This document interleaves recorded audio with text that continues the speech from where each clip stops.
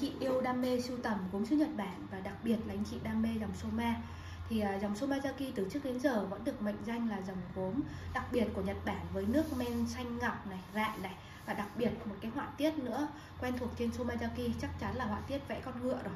Và chia sẻ với cả nhà hôm nay thì gốm Nhật Toki sưu tầm được một cái bộ trà và em phải dùng cái từ là VIP cho bộ trà này.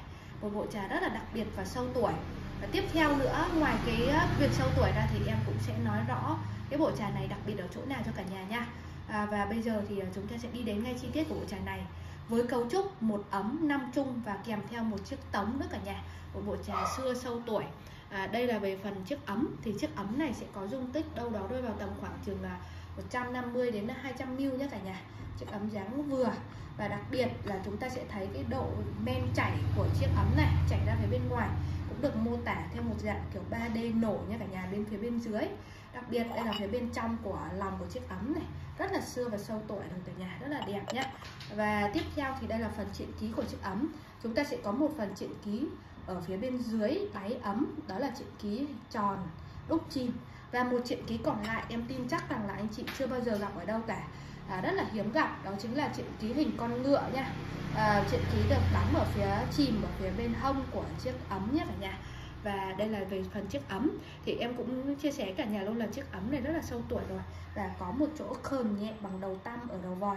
Nhưng mà ở phía bên trên khi nhìn xuống thì chúng ta sẽ thấy hoàn toàn đẹp nhá và kèm theo đó thì chúng ta sẽ có 5 chiếc chung trà và điểm tuyệt vời chắc chắn là năm chiếc chung trà này rất là xưa sâu tuổi đi theo bộ zin nguyên cả tống cả 5 ly. Và năm chiếc chung với chiếc tống thì lại lành tích tuyệt vời nha. Đây là phía men đạn là 4 lê ở bên ngoài. À, men chảy nhá cả nhà. Tất cả đều là chuyện ký con ngựa để em lấy nét vào cho cả nhà thấy. Đây có chuyện ký con ngựa cũng như là chuyện ký chìm rất là đặc biệt. Đây họa tiết là 4D vẽ bên ngoài men chảy nha. Và đây là phía men rạng. À, ở chiếc ấm này thì đôi khi em có một cái điều mà em nói như thế này.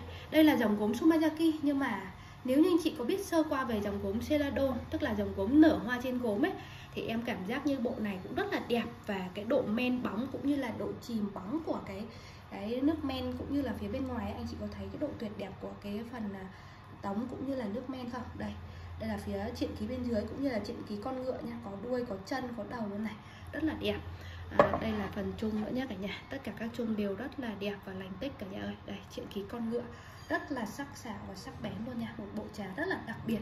Và hôm nay cũng Nhật Toki có cơ hội sưu tầm và giao lưu với cả nhà thân yêu. Thì em xin được phép để lại vị trí trung tâm. Và giờ đây thì mời cả nhà thân yêu chúng ta cùng nhìn ngắm lại bộ trà rất là đặc biệt sâu tuổi và có cái chuyện ký đặc biệt của dòng gốm Somazaki này nha và nếu như anh chị có nhà ý muốn cùng gốm Nhật Toki siêu tầm giao lưu, thì anh chị có thể liên hệ với em qua số Zalo nha.